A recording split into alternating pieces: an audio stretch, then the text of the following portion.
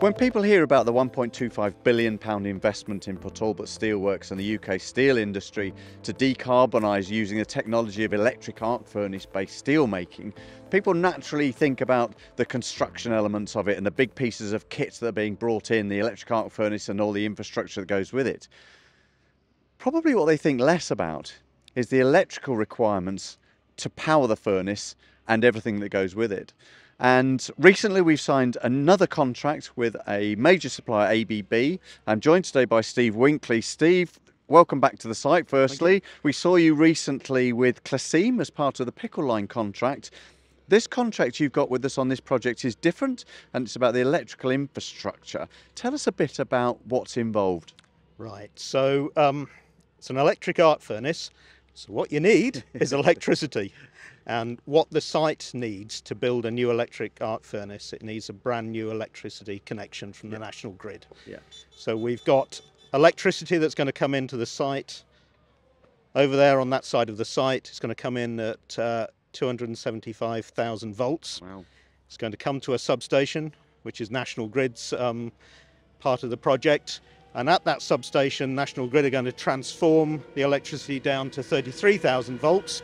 And then it's our job to get that 33,000 volts all the way down to all the individual consumers for the new plant. Yeah. I think the way to think about it is think about your house. So on your house, you've got a little box outside, you've got a connection to the electricity company, and that connection is at 240 volts. Yeah.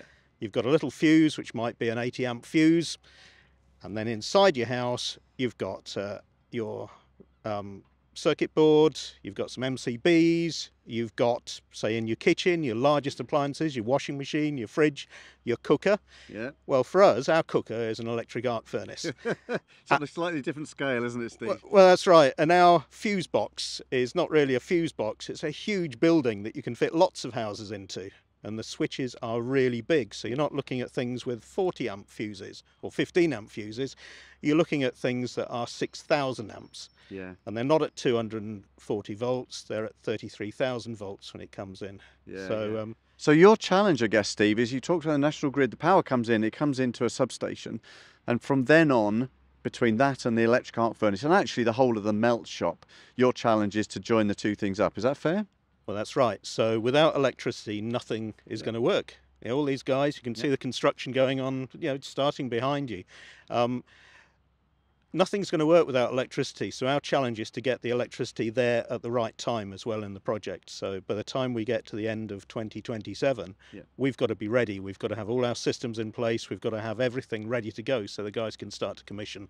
So it's it's quite a big thing. But the opportunity we've taken actually to build for the future now is to make sure that when we put electrical infrastructure in, which every industrial site has had, Yeah. you know, in the past, is we make sure we do something for the future. So it's now our opportunity now to make sure that we build in new technology to make things as safe as they possibly can be. There's no need anymore for people to stand in front of big switches, big fuse boards, big um, switchboards. You do that all remotely from the pulpit. You monitor everything remotely from the pulpit. The system tells you when it's got to be maintained Yeah. from the pulpit. So it's we use technology to massively improve safety and massively improve operational efficiency. Yeah.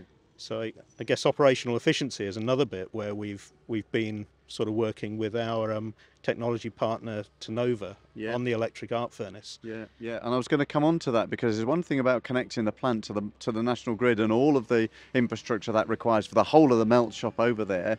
But as you, you were starting to say, you, you're working with Tenova, who are the supplier of the electric arc furnace itself, on some new technology, patented technology, which will make the arc furnace run more efficiently.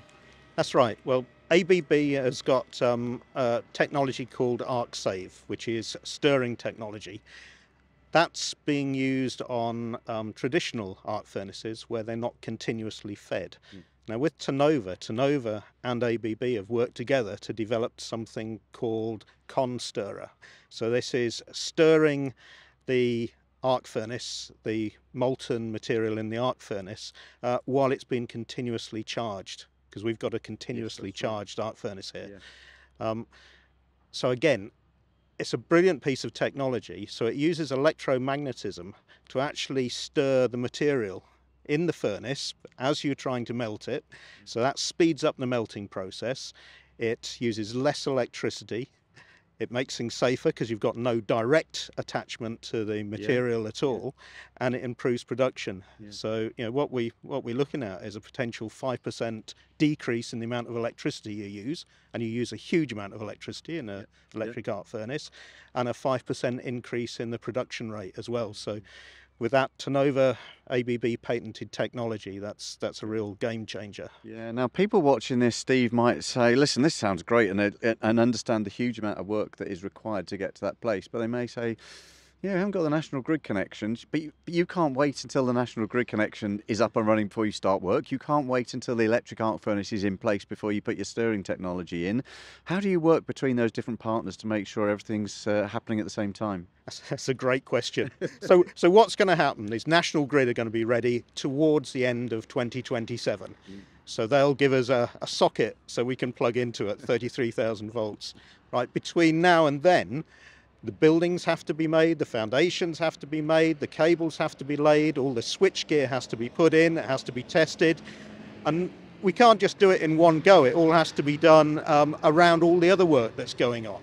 Yeah. So what we'll do is we'll we'll phase each area of plant testing so that it can be commissioned. So as soon as we get the electricity connection from the grid, we can then commission the equipment in the right order. Yeah. So if you want, this is a real bottleneck Mm. process to actually get this this thing done in the right order, and it's going to be really challenging. But um, that's what we're here for. We're here to is. succeed at those sort of challenges. Yeah, listen, thanks very much for coming out with us today, Steve, and explaining that because it is a piece of the project that people may not have realised uh, has to happen at the same time as the construction.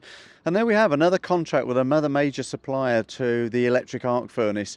A real case of collaboration, as you heard Steve talking about there, the need to collaborate with Tenova and come up with a patented technology, the need to collaborate with the national grid in terms of uh, the power source that's coming in and connecting up, and of course the need to collaborate with Tata Steel and all the engineers on site in terms of all the groundworks and the buildings and the connections that need to be made across the steel plant. Steve, listen, we will definitely come back and see how it's going over the coming uh, months and years because it's a fascinating part of the project and uh, one without which uh, nothing happens, I guess. So, Well, well, that's right. Nothing happens without electricity. It's an electric arc furnace.